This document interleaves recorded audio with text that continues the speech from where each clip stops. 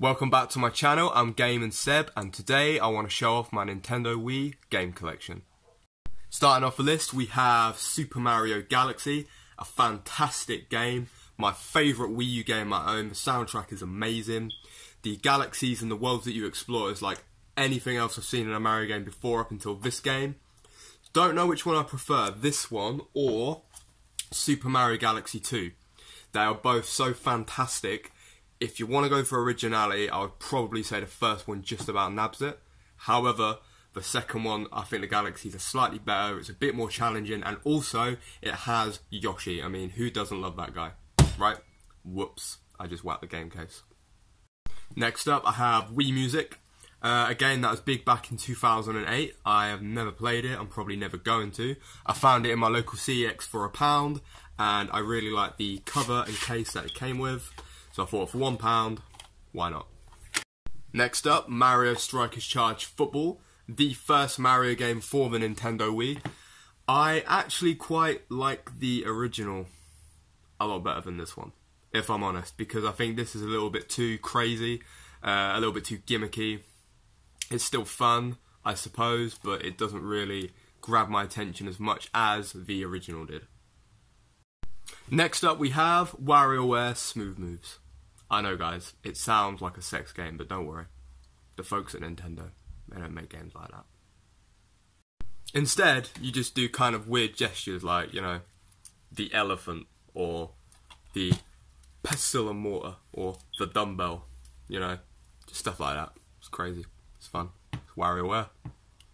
Moving on with the list, we have Link's Crossbow Training, Sonic Riders Zero Gravity, and Mario Sports Mix. I also have a couple of GameCube games re-released for the Nintendo Wii in the Let's Play Control series. Uh, New Play Control, sorry, not Let's Play Control. Donkey Kong Jungle Beat and Mario Power Tennis. Both pretty decent games. This is definitely the better game in my opinion. I also have Wario Land the Shake Dimension and Mario Kart Wii and Super Smash Bros. Brawl, which apparently is the worst Smash Bros. game. Despite the amount of content that they put into this game and how many new characters and fighters and stages were added, it's apparently the worst one. The original on the N64 that had like what, 12 characters or something, is, is better than this one. Sort your priorities out, guys. Yes, okay, it doesn't hit as hard and run as play. Uh, blah, blah, blah, doesn't play as well as Melee, but it is still a fantastic game, and it gets a lot of uh, flack when it should deserve much more credit. That's just my opinion. I also have Super Paper Mario. Not a big fan of the Paper Mario series, too much words, can't read very well. I'm just kidding, get bored. Super Mario All Stars, the 25th anniversary edition. I really wanted this for collection purposes, but when they released it back in 2010, they could have added so much more to this set. Um, it's nice to have, like I said, but it's not amazing, and you should be able to find it pretty cheap. Now we have the Mario and Sonic at the Olympic Games series. I've got the first one, the Winter Olympics, and the London 2012 Olympics. Really dislike the Mario and Sonic at the Olympic Games series. Never liked it that much. Maybe because I suck at it. I'm not very good at the sports. But yeah, I've got all three of them. They're very cheap, so they're good to collect. Next up, two fantastic 2D platformers. New Super Mario Bros. Wii, and Donkey Kong Country Returns. This game I think is just about better because it's so challenging. I love the boss battles in it, and it has eight worlds as well. It's quite a lengthy uh, 2D platformer. This is still so much fun, um, but yeah, they are two of my favourite uh, Wii platformers on the Wii.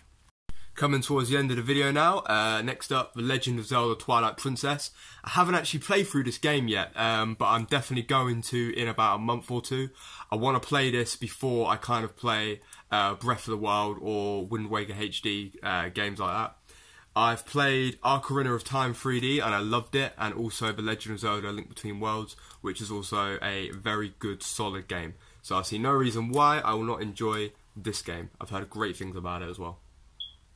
Same thing can be said for Metroid Prime 3 Corruption.